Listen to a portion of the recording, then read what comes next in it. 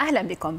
نبدأ من غزة حيث يتأثر القطاع ابتداء من اليوم بحالة من عدم الاستقرار الجوي وعودة متوقعة للامطار، ويكون الطقس باردا نسبيا خاصة خلال ساعات المساء والليل، فمن شأنه أن يفاقم وضع النازحين الذين يتعرضون مباشرة لأجواء الصقيع دون توفر ملابس ثقيلة أو حتى جدران تحميهم من هذا البرد القارس.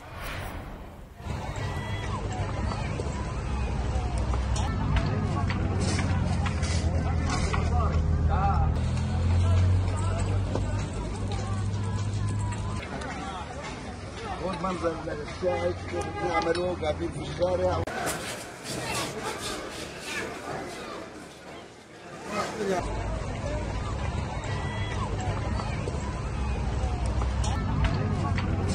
وصل الإعصار ميشوانغ إلى الساحل الجنوبي الشرقي في الهند على شكل عاصفة إعصارية قوية.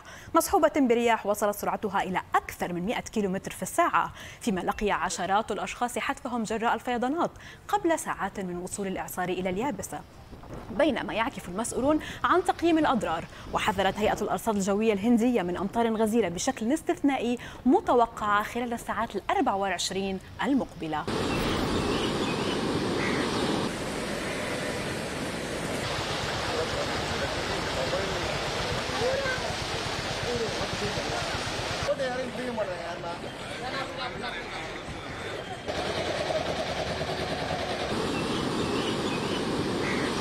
الفيضان المدمر الذي ضرب منطقة أم وجنوب أثيوبيا منذ ما يقرب من ثلاثة أسابيع ترك العديد من السكان بلا مأوى وبحاجة إلى المساعدة. وهم الآن يكافحون من أجل العثور على المأوى والضروريات الأساسية ويطلبون المساعدات من السلطات والمنظمات الإنسانية.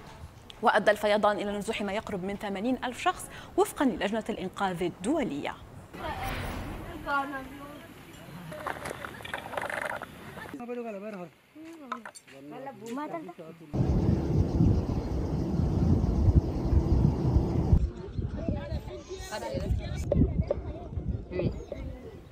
ما لا يقل عن 23 شخصا لقوا حتفهم بعد ثوران بركان ميرابي في غرب إندونيسيا ولا زال البعض الآخر في عداد المفقودين. بركان ميرابي الذي يعد واحدا من أكثر من من 120 بركان نشط في البلاد ثار صباح اليوم الثلاثاء وهذا هو اليوم الثالث على التوالي الذي يثور فيه البركان هذا الشهر.